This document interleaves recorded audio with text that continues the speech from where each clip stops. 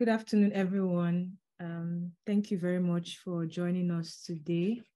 This is our fourth webinar in this year, 2023. Thank you for those who have been our faithful participants. We're happy to have you. And those who are joining us for the first time, we're also happy to have you.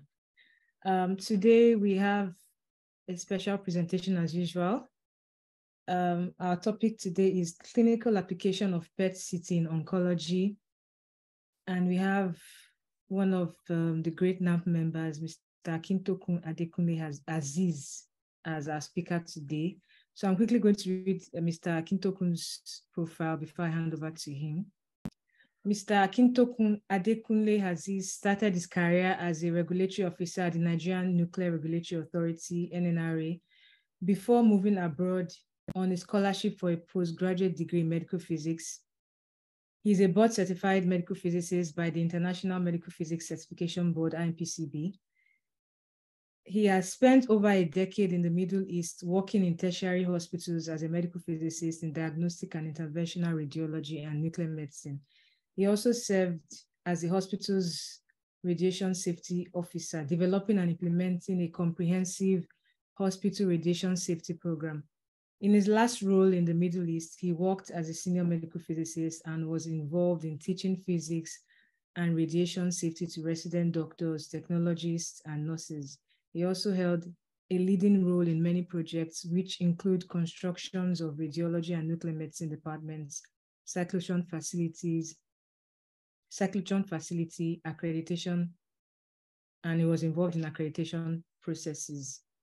ACR, CBAHI, and JCI. Mr. Akintokun, please, you quickly tell us the meaning of this. I was going to ask you what they stand for, but before you, before I ask you to do that, I just want to say that uh, we're actually privileged to to have uh, Mr. Akintokun with us. He recently relocated to Nigeria um, the end of yeah, I think the end of last year, the last quarter of 2022. So he's here to share his wealth of uh, knowledge and experience with us. So um, this is who will be speaking with us today. Thank you very much for accepting our invitation and um, for agreeing to do this today. Yes. So before you start your presentation, please, what does ACR? I think that's American. Actually, accreditation has to do with the uh, somebody uh, certifying that the hospital is performing to the world standard. ACR is the American College of Radiology, and okay. is like a local Saudi Arabia, like accreditation, accrediting the Health Institute. And okay. JCI is like international body that accredits uh, Joint Commission for Accreditation of Health Facility. All right, thank you for the explanation. Thank you. So um, the floor is yours now. Good afternoon, everyone. Uh, thank you for having me to present on clinical application of PET-CT in oncology. Uh, actually, um, for this uh, webinar, we are, we are, going to go through the, I'll give an overview of PET-CT, uh, characteristic of PET tracers, PET radionuclides, uh, principle of PET imaging, examples of PET radiopharmaceuticals. Um, I'm going to talk a bit of examination steps for PET-CT. Uh, we talk about the advantage and limitations of PET scan and clinical application of PET-CT in radiotherapy. Uh, we're going to look at FDG PET cancer detection, and we are going to talk about evaluation of uh, mass lesion using the PET uh, technique. Uh, we are going to look at also monitoring of tumor responses and how PET is used in radiation therapy. Just to start with an introduction, PET-CT is an hybrid device that combines its PCT and what and the PET using a single patient table. Uh, the PET is a volumetric technique optimized to, for detection of annihilation photons. Uh, it allows precise tracking of spatial and temporal temporal distribution of positron emitting radiopharmaceutical in patient. So spatial has to do with the, the, the size of the of the uh, disease that can be seen, and temporal resolution or distribution. Temporal resolution has to do with the uh, the ability of, uh, of the of the of the scanning image uh, scanning uh, machine to detect uh, duration in distribution of radiopharmaceuticals over a period of time. I mean, how it's being cleared from the system. So we said we talk about temporal resolution. I just have to say that before we continue so I can have idea of what I'm saying. And also thus it represents a unique functional tomographic imaging and modalities based on biochemical handling of chemicals by the TU. So uh, a PET tracer, a PET tracer is a proton-rich, uh, it's come from a proton-rich nucleus and it's called positron. When a proton-rich nucleus decay, they give out positron, which is antimatter. Antimatter that it cannot stay long in the, in the, in the matter environment. And the positron has long, uh, low range, and in, in, the matter environment is going to interact with the neighboring electron to produce what we call annihilation photons. These annihilation photons are, they normally have energy of 511 keV, and it goes in opposite direction, nearly 180 degree. As you can see on the on the right side, this is an example of uh, positron is produced by this nucleus.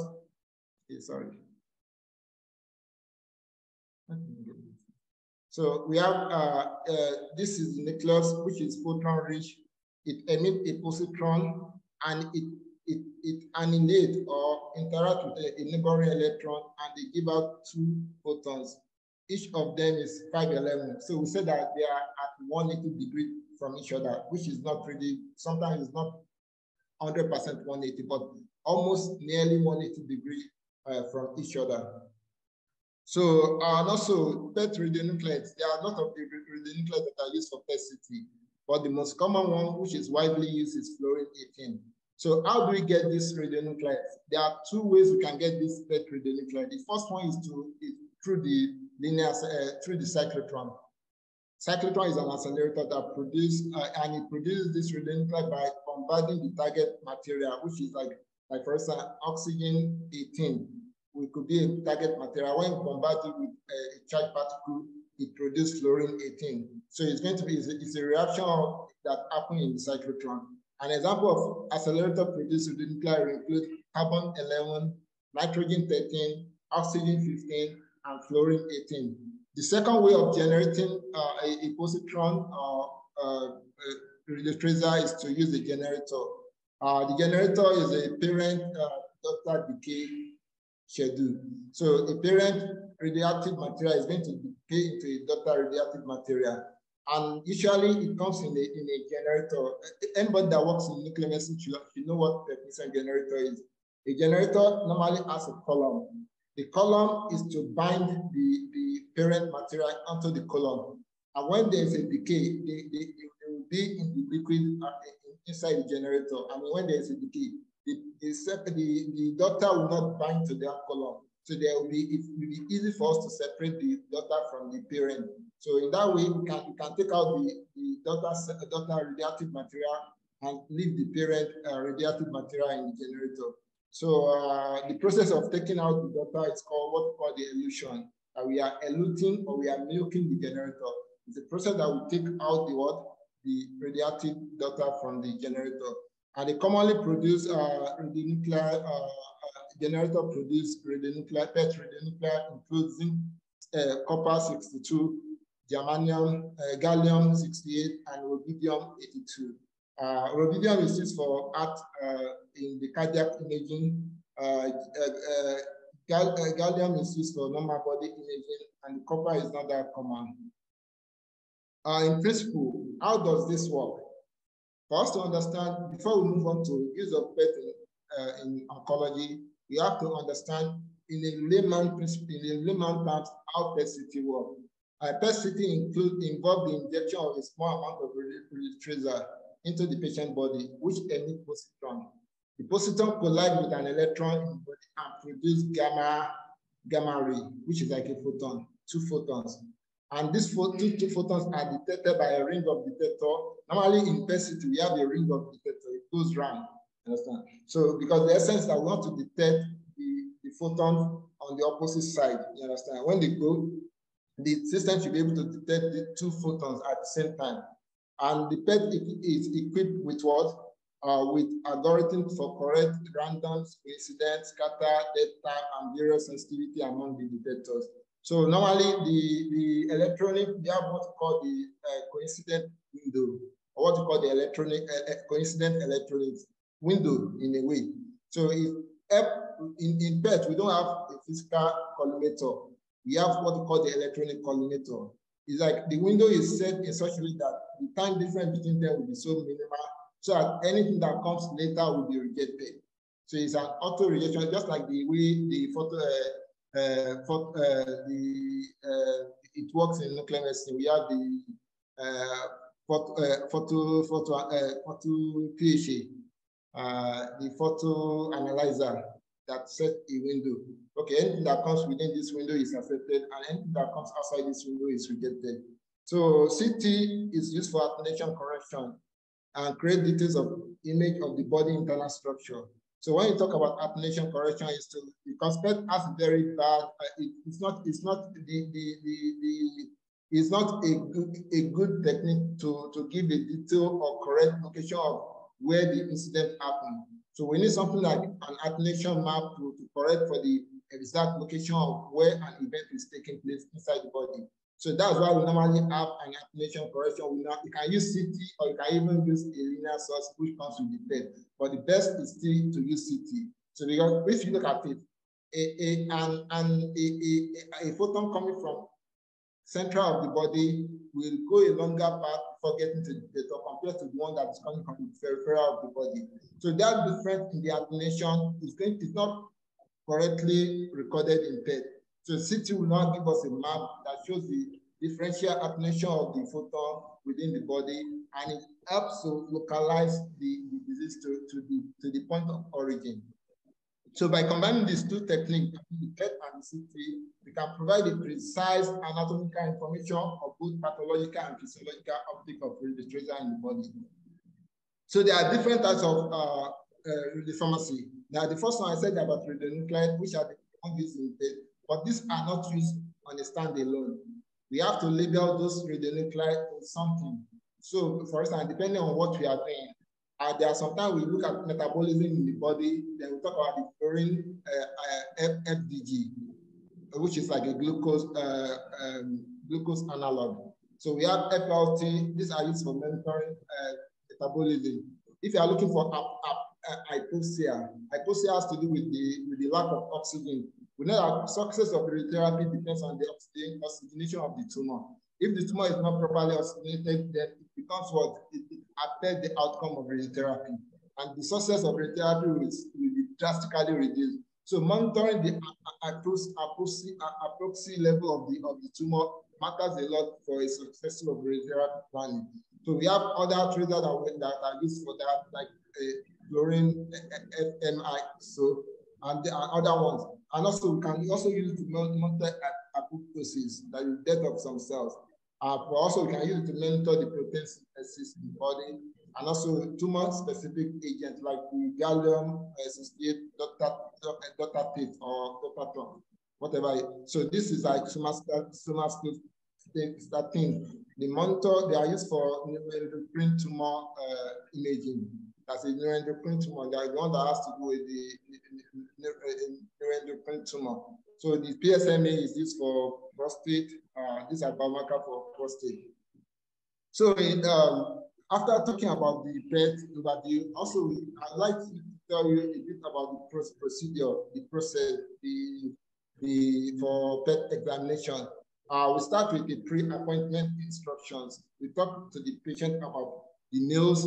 He has to reduce the carbohydrate intake for at least 24 hours. He should go low on carb and also activity should not involve in strenuous activity. And also medication has to medication has to be advised. He has to tell us what medication will be. The essence of giving a good instruction to the patient is to ensure that what the, the outcome of our test scan is, is, is successful. So if the patient goes and eats a lot of carbohydrates or expresses him or herself, then it, it's going to, we are going to have what we call muscular, uh, muscular glucose, you understand, metabolism. And this is going to affect, it's going to be like an artifact in the PET imaging. So we advise them properly before they, before they come for their appointment that they have to watch their meal, they have to avoid alcohol, they have to reduce their strenuous activity, and have, we have to look at their medication and make sure that the medication we, they are using does not impede or will not affect the outcome of the of the PET. So on the day of on the day of uh, on the day of uh, on the day of scanning, uh, when the patient comes to the hospital, we look at, we give them instruction, we do some tests, like for instance, we do pregnancy tests to ensure that the patient is not pregnant. Also, we do, we check the glucose level for FDG, especially FDG. When you are looking at metabolism, we check the glucose level and make sure that the glucose level is low. It's not more than 140 uh, milligram per deciliter. So we have to make sure up to 200. Anything higher glucose level, then you have to consult with the with the doctor. And above 300 milligram per deciliter, we don't ad admit the patient. We just cancel the scan. Uh, also, after that, if the patient qualifies during the pre-injection injection uh, uh, uh, test and other things, then we move on to the injection. We inject the patient normally in, for FDG, we normally inject the patient between 5 millicurie to 20 millicurie, depending on the patient size. But the average for an average man, which is 70 kg, normally inject like it's 12 millicurie. But if the technology in the system, the technology is an advanced one, you can go low on the dose to like 8 millicurie for an average man. But in this case, we have to work on the acquisition time and also we use the, the algorithms in the system to optimize the, uh, the processing and image quality. So when, after injecting the patient, we instruct the patient before injection that the patient has to remain calm. The lighting of the room where the patient is going to be injected has to be dim because you don't want anything that is going to affect or agitate the patient or make the patient to be anxious because we don't want metabolic, muscular metabolism. So we want the patient to be calm as much as possible. And we're going to stay there after injection for like minimum 45 minutes for the uptake. Uh, it's like between 45 minutes to one hour for the uptake. And after then, we ask, we instruct the patient to go out to go to toilet before the scanning because you don't want to have radioactive in the in the in the in the bladder because this is going to also affect the outcome, as especially for the whole body scan. It's going to affect the outcome, the, the, the final result, the image interpretation uh, by the physician. So after that, uh, we have the scanning. Scanning normally we scan for PET. We start normally start with the CT, then we go to PET. And the, uh, the acquisition, because the PET, PET detector is not so big, it has limitations, you understand? So normally, we normally have like one bed, two bed, three bed, especially for whole body. We have three to four beds for whole body. And it's going to be scanned in four. If it's three beds, it's going to be uh, three steps. First one, finish, then second one, different part of the body until it finishes. So the scanning time per bed also varies depending on the technology that you are using, depending on the machine that you are using, and also sensitivity of the PET, PET scanner that you are using. And also it also depends on, on the on the on the protocol that the, the center is using. So normally like one minute to like uh, five minutes for the per bed. Normally in our center for head and neck, we use like, I mean abroad, we use like four minutes for head and neck per bed. And for the whole body, we use like three minutes per, per bed for, for the scan. So this is uh, what we do. And post-image processing has to do with the, what we do after the after we have finished acquiring the image. We are going to process it, we are going to apply the attenuation, correction, and we are going to fuse the PET and, and, and, and PET and CT images, and we are going to have the PET look. So sometimes, especially when we are looking for we also need to have the, the unprocessed, unattenuated uh, PET, PET images so as to know if there's an artifact or not. So this is a summary of what we do when we do a PET scan. Uh, it's good also, now I want to talk more about the advantages of PET CT. Uh, PET, especially when it comes to oncology. PET imaging is, is, is based on tracer principle and primarily generate images of function, including physiology, biochemistry, and metabolism in the body by analyzing the dynamic behavior of the molecular organs and tissue. So we can accurately stage and localize the tumor, and also is a, is a good tool to, to detect early diagnosis of disease or, or, or, or confirmation of presence of cancer or tumor. Uh, also, we can use evaluation to evaluate the treatment effectiveness post-therapy. You can know if the patient is responding well to therapy using the PET technique. And also easy detection of metastasis. You can, you can detect MET cancer using the PET. Uh, it can be used to identify area of active cancer cells that may not be visible in other imaging modalities. You know, it works with metabolism. So if there is high metabolism, we know that cancer cells are, they, they consume a lot of glucose, they consume a lot of sugar because, because they are very active cells. So now when we see a high metabolism, we think that the cancer is very, is very, is malignant. So PET is a good one to, to, to see an area. Sometimes the, the, the on normal scan, you may not see the, you may not see the disease, but on PET, you see the disease because if the cell is absorbing glucose, then it's going to show, going to bright up on the, the image. Uh, also, it helps improve contouring accuracy. We are going to talk more about that. However, uh, despite that, the, the, the wide use of PET still have its own limitation. So the, it has a lower spatial resolution compared to other diagnostic like MRI, like CT.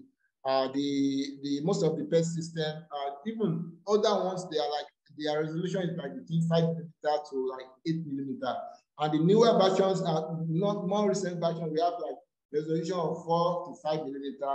And also now, I've read that we have PCC that can do that have high, better resolution even than four millimeter uh, uh, resolution. So it's difficult to accurately identify. So the, the problem is that if, if the resolution is not that good, then it will be difficult to identify very small lesions or lesions located in area with high uh, physiological uptake, such as the brain or the liver. You understand? Because that place, there is a lot of uptake. Now, for you to be able to identify very small tiny lesion in that in those areas, it's very difficult. So these are some of the uh, disadvantages or limitation of PET-CT. Uh, imaging can be affected by patient motion, respiratory motion, which can lead to image artifact and reduce image quality. Yes, because the compare, although the when you compare to MRI, time, scanning time is still low, is still it's still faster, but it's, it's long enough for the patient to become very comfortable on bed. Especially when you are doing the whole body, whole body scan, take you like almost roughly like almost 20, uh, 20 minutes. So the patient has to be on the bed for 20 minutes. I think that uh, sometimes the patient feels very uncomfortable and have to move, you know, when the patient moves, there is going to introduce artifact into the into the image. Another thing that we have to uh, to avoid respiratory motion. There's no way you can do that except we have to do with 4D imaging, where we have to monitor the we have to do a gated uh, gated uh, uh, scanning. But unfortunately, most centers does not even have this. So the best thing is to advise the patient to educate the patient how to breathe properly. You have to tell the patient how to breathe. And sometimes in my center, the first center I work in, they will call the patient and they will put the patient in the CT and they will be instructing the patient how to breathe properly. So that the scan will be, can be reproducible. You know, we want to have a reproducible scan.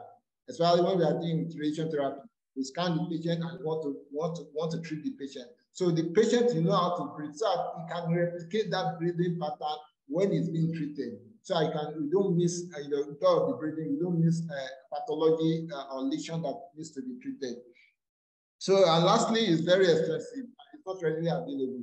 I think in the whole country, we have only one center, if I'm not sure, if I'm not mistaken, that have PET-CT, that has a functional PET-CT scanner, which is which is MeCure.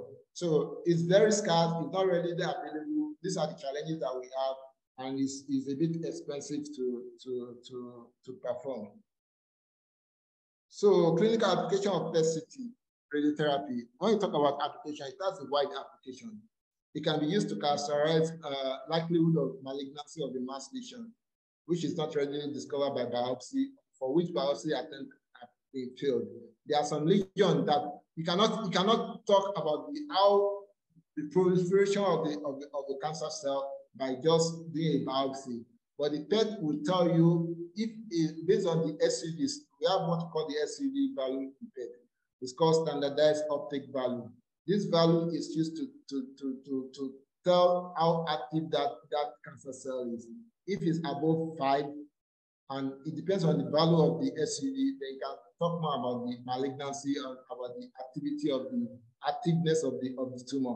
So this PET can tell us a, a, a, a lesion that is highly malignant compared to benign. Uh, diagnosis of patients with significant increase in risk of malignancy on basis of elevated tumor marker, like for example, the, the issue of the uh, PSMA, which is for the for the uh, for the prostate scan. So if you have, you can you can easily see that okay, based on this, there's a high, high, high, elevated tumor marker uh, on the accumulation of tumor marker in this thing. The standard is malignant. If it's not highly accumulated, then say it's not malignant. Also, it can be used for staging and staging of high, high risk tumors. Uh, malignant and benign disease, and also you can use for pre-surgical planning like, okay, you want to know the area that you want to, when you want to do a surgery, which area are more important and which area should we, should we concentrate on. Uh, selecting tumor region for biopsy. Also, it can be used for uh, as a guide for bio to, to, to, to, take, to take sample for biopsy from patient. So radiotherapy planning, you can also use it for radiotherapy planning. I uh, can use for assessment of the therapeutic response. I mean, how, how the patient is responding to treatment. Uh, we can look at evaluation of disease response to chemotherapy as well. And also we can, we can use it as surveillance of high risk malignancy or evaluation of clinical relapse, recur, uh, recurrence, tumor recurrence. We can, we can use it to, and where salvage therapies exist and for which early intervention may be curative or prolonged life. I mean, it, it helps to properly manage the patient. You know, so even after the patient has been treated, he, he goes, he, he a follow-up with using the, uh, yearly, they normally do a follow-up. And so depending on the protocol, actually, they normally do a follow-up on the patient and maybe uh, some some some procedure six months after after the treatment, you have to come like the thyroid. You understand? You have to come for for for post uh, post therapy follow up. So it depends on what the the protocol in the center, but it's a very effective tool to to make a follow up and to to really detect relapse, quick detect relapse of the tumor and, and decide on the clinical uh, management of that patient. So uh, localize, it also can be used to localize the sites of primary tumor when we have uh, metastasis uh, disease, uh, initial manifestation of malignancy. So for all these clinical scenarios, there are multiple independent examples of where we use the PET-CT to achieve effective clinical outcome. So uh, now we want to start looking at specific use of PET, PET uh, FDG. We talk about FDG, uh, fluorinating FDG for, for cancer detection. Uh, in 1980, the first, uh, going through the history, Dr. Shiro demonstrated in 1980 that uh, there's a degree of correlation between degree of malignancy in brain tumor based on the FDG uptake uh, in, in, the patient by the, by the patient uh, brain. So he now said that uh, FDG has achieved wide use of detection of cancer primarily in staging newly diagnosed cancer and recurrent.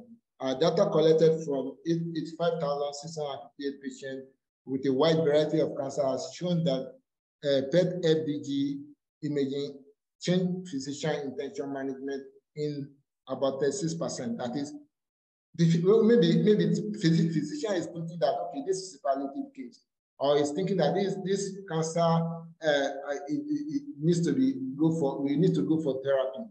It's a, it's a malignant cancer. But based on the PET scan, you, may discover that what a physician, what they call based on biopsy, CT, and other things, what they call malignant malignant cancer might be benign. It might not require even a therapy. So in this case, uh, it changes the decision of the. Sometimes it changes the cost of treatment. Like in this 36%, 29% were changed, the treatment costs were changed, okay, to more radical treatment. And only about, about uh, 20, 20, 20, 20 only about 7% were, were not treated. The, the, the treatment plan to, to the plan to continue with the treatment of PET was abandoned because of the because of the use of PET to properly diagnose the patient. Common cancer image with the PET FDG are lymphomas, head and neck cancer, lung cancer, colorectal cancer, we have the breast cancer, esophageal cancer, melanoma, cervical cancer, thyroid cancer, nasopharyngeal carcinoma, and pancreatic cancer, and lot of lot of them. You know, this has been established clinically that PET is effective. I, it's not really like the primary tool that we use to, to diagnose, but it's for a confirmed to, uh, cancer case, or for a suspected cancer case is a very useful tool to use to, to diagnose and to properly uh, to properly uh, stage the, the, the, disease and also have a proper, better uh, treatment plan or management of the patient. So appearance of the cancer in FDG can have aggressive cancer. Normally appear as hot spot. Hot spot means that a bright spot. It will be brighter. Normally, we normally use different uh, viewing, uh, viewing window in, in, in uh, it could be, normally we use iron out. It appears like red. So the area of high activity aggressive cancer, they're going to appear as a very bright red in the, in the image. Whereas the area of, of less activity, like when we talk about well-differentiated hepatocellular cancer or carcinoma or something like the thyroid cancer, they appear to be cold. I mean, they, they, will, they colder than, than, the, than the other. Is, they will not be brighter than the background. They will be less bright compared to the background. So activation of varieties of oncogenes result in increase in uptake. Yes, when we have different oncogenes, like the uh, PSMA time. So if they are activated, they are going to increase the uptake of FDG by the patient. In many patients, the degree of FDG uptake is a marker of tumor differentiation. So the, if, as I said before, we can distinguish between aggressive and what and non-aggressive tumor using the, the FDG. For example, when a prostate cancer or a thyroid cancer lose the ability to respond to androgen and trap iodine, respectively, they are much more likely to observe this with the FDG PET scan. Uh, false positive may be positive finding are relatively common. Sometimes you have a false positive because of elevated glycolysis is not limited to cancer. Sometimes the elevated, the can have accumulation of glucose somewhere in the body, which is not really related to cancer. Maybe you have an inflammation. Inflammation also will consume a lot of glucose. So inflammation, when you have an inflammation, it could be a false positive case when it comes to FDG. Are like infectious and inflammatory disease. These are muscular activity, metabolism of brown fat, and changes in response of the bone marrow stimulating cytokine and etc. could be an could result in an elevated glucose uptake in the body. So in this case, we know that FDG might give a false positive. So a physician must be very experienced to be able to distinguish between false positive and and uh, and, and the actual positive uh, diseases. So that's why it's always good to use after the the the, the PET scan. We normally send the patient for biopsy to confirm the, the result. But most of the time, the, the, the false positive is limited, but it's always very positive, but there are some exceptions that are possible. So fluorine uh, 18 uh, for elevation, uh, for evaluation of mass lesion.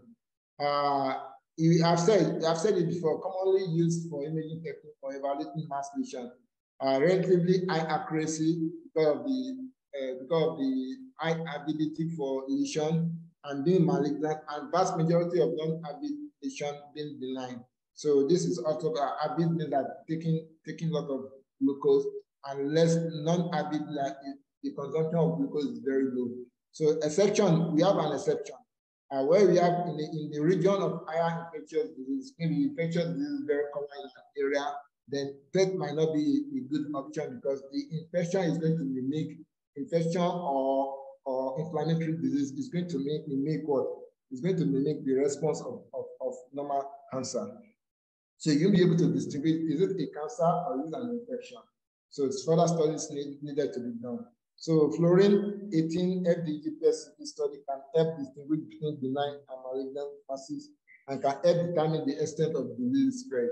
So you can you can you can know how, how, how much the disease has spread I can confirm that with the with the what with the chlorine uh, with PET scan. So, however, final diagnosis, as I have said before, should be always be confirmed by biopsy or by other appropriate diagnostic tests. So, uh, this is a case, a clinical case of where we use PET to detect solitary pulmonary uh, nodes. So, uh, and this uh, solitary pulmonary node is a common finding and indeterminate solitary pulmonary nodules nodule is a common is common in the clinic. So investigating them is also challenging. So one way of investigating uh, to confirm and to investigate such is to use the PET-CT. And uh, uh, normally investigation and differentiation diagnosis of solitary nodule remain complex, as I said. Because of that, there's an overlap between the characteristic of benign and malignant process. So now, if you have a SP, SPN and you want, really want to diagnose, you want to stage it properly, you want to really know if it's malignant or benign, then PET-CT is a very good tool to use to be able to distinguish is it a benign or a malignant tumor. So uh, in the evaluation of the solitary nodule seems to be its most appropriate and intermediate probability of malignancy and diagnosis sensitivity and accuracy by disease with high glucose metabolism, which inflammatory. So also, as I said always, we have to confirm our findings by doing a biopsy. And the picture on the, on the right is one of the cases. This is a, a case uh, axia on, on, on picture A. The diagram in A is a fused PET image. And the axial PET image is on the left. This one without CT, the one on the B is without CT, and the one on the left is with CT. So patient with history of epidermoid cervical carcinoma refer for indeterminate pulmonary nodule research. So, and with the PET, they are able to confirm that, to confirm what? SNL in, in the lung, you can see. The area, you can see this area brighten up. So that shows that elevated uh, uptake of glucose, and which confirmed the presence of SNL uh, uh, uh, uh, solitary uh, pulmonary node in, in, in, in that patient. So also we can use it for various type of lymphoma, you understand? So uh, this case, uh, follicular lymphoma can be detected with PET, and it's a most common indolent B-cell tumor, and the second most common uh, non-Hodgkin lymphoma. So this could be asymptomatic or malignant. So in case of asymptomatic, the, the, the clinical, clinical management is to live with this and watch follow up. For malignant, it has to be treated early. So the first study show hypermetabolic, non-contiguous deep adenopathy and mesenteric mass without obstructive manifestation. Understand? It's, it's really clear. When you look at these two images, this is a 50 years old man diagnosed with what? With FL, which is follicular lymphoma uh, of, the, uh, of the neck underwent this nine staging. So they want to stage this person. On the right, which is the CT, this one, the one the arrow is, is an axial contrast enhanced computer tomography CT image. Show no diseases. You can see there's nothing. You think that this patient is normal. When you look at the image A, that this patient is normal. But if you go for PET CT, you could see the bright spot. You see this arrow showing the bright spot here. These two bright spots, it means that there's an uptake of, of glucose where we don't expect it. So it means that there's, there's something, there's a disease there. And so after biopsy, it was confirmed that the patient is having a follicular lymphoma. So this is a good example of where PET-CT could be able to distinguish, where CT could not identify that the patient is having disease. But with the use of the PET scan and PET, PET imaging technique, we are able to identify that the disease is present in what in the patient. So uh, based on the report, showing that uh, the PET-CT alter initial staging in follicular lymphoma by 19% of the patient. So out of the patient that the, the, the, the, staging process is, is, is, changed after the PET scan, which is a very 19% is a great is a, a great amount. That's 90% of cases, even people can publish paper for 1% changes. For this, like 19%, which is a lot when you talk about clinical su success, that PET is successfully diagnosed follicular lymphoma uh, in, in uh, you know, so, but, yeah, 90% changes in physician opinion on treating patient and staging of the follicular lymphoma. This is a great success. And uh, we should understand that SUV greater than 10 has 81% sensitivity. Sorry, uh, not, not dollar, that's percent. Maybe I'm looking for dollar, that's why I put dollar. So it has 81% sensitivity for assessment of histological transformation. Biopsy is needed to confirm histology. Anytime we have a we have a confirmation in test, we normally send the patient for biopsy to confirm the findings. So this is another lymphoma, marginal zone lymphoma. And we can see that uh, marginal zone lymphoma is very common. It's the third most common non-Hodgkin lymphoma that we have. These are three subtypes. We have the splenic uh, ML, MLZ, and we have nodal NOZ, and we have the extranodal mucosa, uh, mucosa uh, associated lymphoid tissue lymphoma, which we call the MALT. So 70% of the MZ, marginal zone lymphoma are FDG avid. They, take a lot of FDG. The, the uptake is high. So imaging finding of on fluorine FDG, SCT depends on the organ involved. For splenic MZ, MZL, marginal zone lymphoma often present with hypermetabolic splenomegaly with or without discrete focal masses. And MALT lymphoma are less avid. They are less avid, but yet we can still, there are some, some of the MALT lymphoma, I mean, MALT means, like I said, the extranodal mucosa associated lymphoma tissue. So some of the MALT, like gastric MALT, may appear as hypermetabolic uh, polypoidal or infiltrative gastric masses with more frequent lower activity. Uh, an higher SUV value has shown to correlate more more tissue aggressiveness and higher relapse rate. So when you have high SUV, then the tissue is the tumor is aggressive. Also what and also what there's high chances of relapse. So we have to strategize our plan treatment uh, patient uh, treatment plan, and we have to select the best plan for the patient. So F FDG play a role differentiating between disease localized to the stomach, sinuses, or orbit as against disseminated diseases. So looking at this uh, patient, there are three patients with multiple lymphoma. A, this A a show uptake in the stomach proven by biopsy. You can see the uptake. You know, I told you that the, uh, when, you talk, when you talk about malt, it's not really avid. The uptake, the FDG consumption by, by this type of uh, lymphoma is, is, not, is not that much.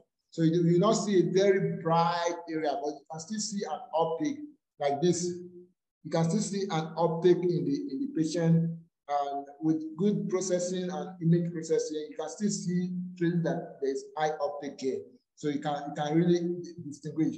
Like for instance, the B, uh, the patient, the second patient fused FDG PET CT axial images of the head in the patient with lacrimal MALT lymphoma. So the, the, the disease is air, and you can see. And in this case, you see how important this, um, this PET is. It will guide us to accurately contour that area out and so I can give can give treatment while saving the other part of the of the eye. So that's why the uh, the um, PET CT scan is really important in radiation oncology. And the third image here is the, the third patient is also an axial image of the neck in addition to the patient showing moderate FDG at the left parotid mode. This is, you can see, looking at the right parotid, you see that it's less, the consumption is a bit less compared to the left. I can see the left is a bit bright. So it means that there's, there's a disease here and it's confirmed that it's what left parotid uh, MALT lymphoma. So with the use of uh, with the use of opacity, we are able to distinguish between, uh, you know, we, we, are able to properly diagnose to stage the patient uh, the disease using the PET CT. So this is another case of a 73 years old woman who came for initial staging of non-small cell lung cancer uh, the, the MIP, which is uh, uh, the MIP image. We have what called the MIP image, which is like intensity, uh, high, high intensity image that we normally have in PET. So the image on the left panel, you see the CT image in the middle, and on the on the right, we have the FDG PET CT. So when you look at it, uh, you can see this area is an uptake, which shows, uh, you see this arrow, with, with the media, mediastinal, mediastinal nodal. You understand? Net. This is a net. So I can easily discover this, can easily identify this in PET CT. And when you look at the CT, let's look at the the middle image, and look at the CT. This CT, if you are not very good, you, you will get confused interpreting the, the image. The system can get a bit confused. But with the CT, there's no confusion. These are not the uptake in the mediastinal. And you can see, even see another uptake here. With this, you can, can say, yes, the patient is having, even when you can go well, this is close to the bowel. You understand? So with, with PET CT, we can really discover those areas that are that would not be that be oblivion that will not that are not easily seen on what on a PET on a on a CT image. It can be seen on a PET image. So we can also use PET CT for monitoring tumor response. Uh, it's a very useful tool for monitoring during treatment and assessing response after treatment. So we can also use it to detect early response to treatment. I'll, I'll show an example of that. Also, we can use it to improve management decision of oncology, oncology cases. I have seen, you have shown you the, the that the physician are changing their opinion about the treatment of the patient in 90% of cases. And in some cases, almost like 26% of the cases, or even some cases that more than 36% of the cases in some studies.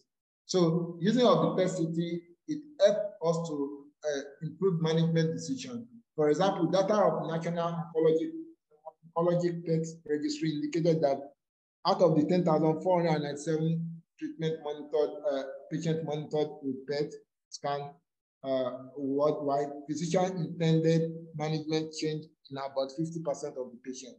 Out of 10,000, 50% of the decision were changed after they have gone for PET scan, including switching to another therapy, 10% of the patient, and adjustment, because if, if the patient, for example, somebody with hypoxia, hypoxia tumor, using therapy might not be good, using radiation therapy might not be the best option for him. Maybe they have to look at other things because it, it's not it's not well oxygenated. For us to have a success in radiation therapy, we need it to be well oxygenated. So sending the patient for therapy with, with the LINAC or radiation therapy is not a good option. So 50% of the decision were changed after the PET scan. And 17% of the patient uh, adjustment, those were adjusted, the 17% of the patient. And a switch from therapy to observation and supportive care in 6% of the patient, which correlates well with patient health outcome. So we means that this it supports the decision, clinical decision, what to do with the patient, having a test center, having a test scan for the patient with, with on oncology patient is a very, is a, it's not really like, it's not luxury. It's something that is essential. It's something that will improve the outcome of the treatment. It's something that the patient, uh, let me know when the time, what, uh, how much time do you guys still have? Your time is up. Oh. Well, just round up, round up. So I'll, I'll, just, I'll just go through. Uh, this is a case of a patient, uh, you see, this is a monitoring, this patient, a, a patient with therapy, you understand? This patient on there is pre, pre scan, the, scan before pre-treatment, and after treatment, after three cycles, you can see the, the, this is almost clear. You understand? So this is like, well, for radiotherapy, you don't do that. Not monitor the patient after radiotherapy because of the inflammation and some other things that happen. But it's seen that you can still you can still have a, when you have a, decrease in FDG uptake in high-grade glioma, radiotherapy predicted better outcome if there is decrease in, uh, in uptake. So prognosis of disease, proliferation, can distinguish between benign and malignant tumor. And uh, we can talk about radiation therapy planning of the brain also.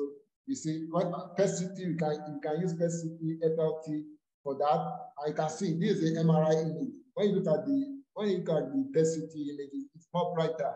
So it, it has a better, better, better, better, better prediction compared to MRI. Uh, so they use gallium DOTA That's for the neuroendocrine uh, tumor. So um, this is uh, this is uh, for treatment planning. You know, the patient is brought to treatment planning, and the contouring is with the help of the PET You can make an accurate contouring of the patient uh, disease, which is because in in, in in SRS when you want to treat patients, people don't normally support whole brain uh, whole brain uh, treatment for for for brain tumor. So if the brain is if the if the if the localized, discrete, then we can we can use SRS to deliver very high we know dose painting is there in radiation oncology. So we deliver high dose to the, to the tumor kill it one time. So in summary, PET CT can be used to calculate the optimal radiation dose for tumor while minimizing dose to surrounding L2 tissue by proper guiding a proper contouring. This can help in reducing side effects and improving treatment outcome. PET imaging has several applications in radiation oncology, which include cancer staging, treatment planning, response assessment, and follow-up imaging. Also, by providing more accurate information on the location and extent of tumor, PET-CT can help in planning and adjusting radiation therapy decisions while minimizing the dose towards L2 tissue. So the future, we need uh, development of more tracer. These are things that are still a challenge, a bit of challenge to, to using of the PET. We need to develop more tracer to, for target specific molecular pathway involved in cancer growth and progression. Advancement in technology also is we need that to improve the resolution.